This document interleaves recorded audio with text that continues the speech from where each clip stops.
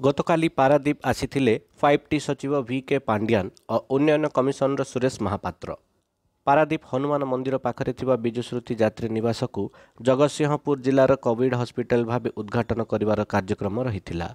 ଏହି ହସ୍ପିଟାଲ ପାରାଦୀପ ବନ୍ଦର ପୌର ପରିଷଦ ଓ ଜିଲ୍ଲା ପ୍ରଶାସନର ମିଳିତ ସହଯୋଗରେ ଅସ୍ଥାୟୀ ଭାବେ କାର୍ଯ୍ୟକାରୀ ହେବାକୁ ଯାଉଥିବା ବେଳେ ଏହି ହସ୍ପିଟାଲରେ ପଚାଶଟି ବେଡ୍ ଓ ପାଞ୍ଚଟି ଆଇସିୟୁ ବେଡ୍ ଡାକ୍ତର ଏବଂ ଷ୍ଟାଫ୍ମାନେ ନିୟୋଜିତ ହୋଇଥିବା ଜଣାପଡ଼ିଛି। ପାରାଦୀପରୁ ବିରଜା ପ୍ରସାଦଙ୍କ ରିପୋର୍ଟ ଉତ୍କଳ ଖବର।